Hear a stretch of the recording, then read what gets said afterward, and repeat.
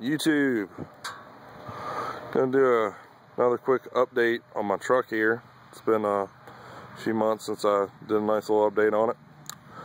Let's see here. What's new now? A couple months ago, I went ahead and did like I said I was gonna do. Got some steps for it. Bought these from uh, GoRhino.com. They are some very nice steps. Um, like I said, they stay tucked close up to the uh, to the rocker panel there. So it actually hides the frame from where I had a body lift pretty well. So uh, barely noticed that it even has a body lift with the gap guards on and everything. Um, let's see here.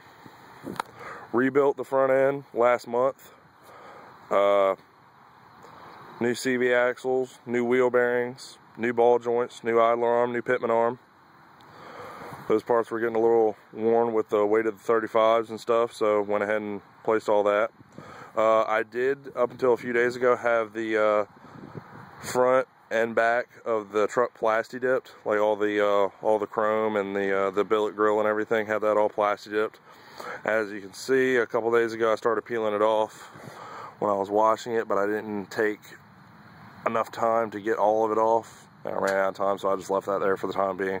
I will get that off soon.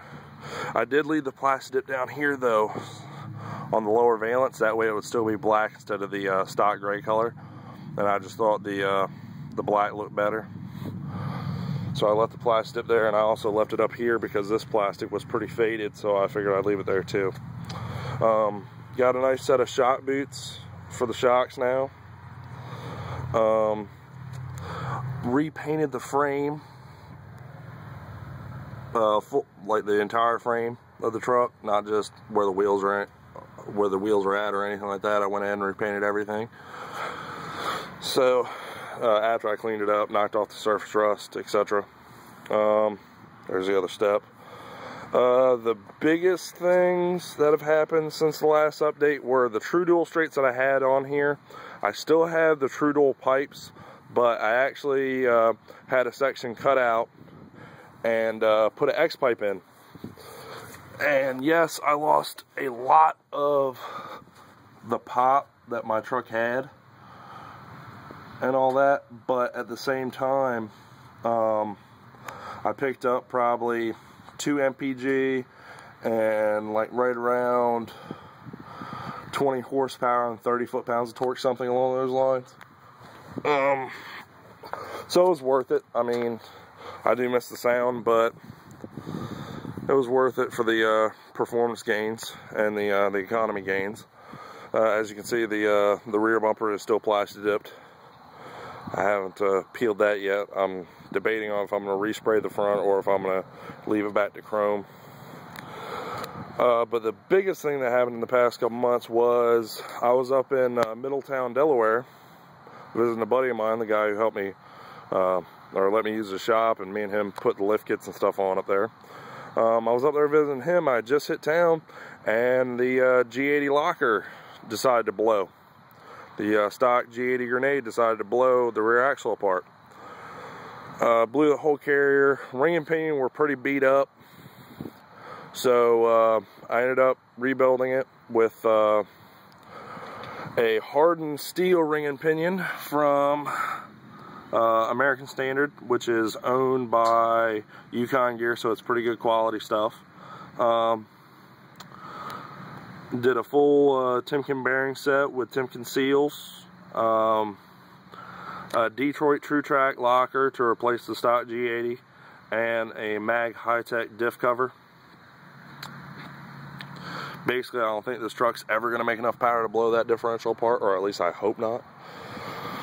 Um, actually, I am uh, going to be selling this soon. Uh, put it up on Craigslist today, as a matter of fact.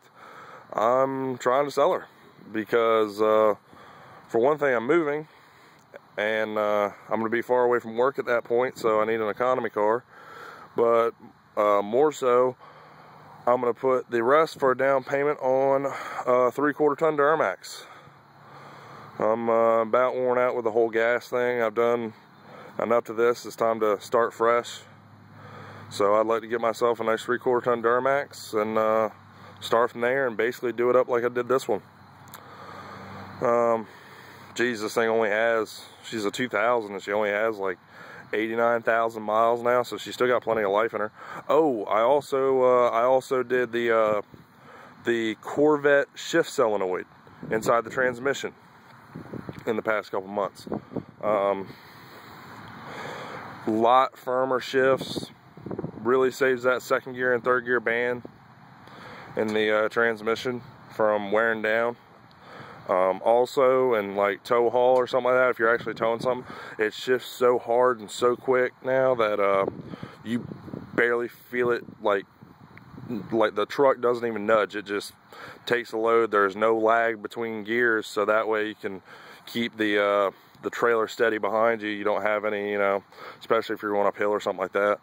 You know it's it, it really saves wear and tear on the transmission.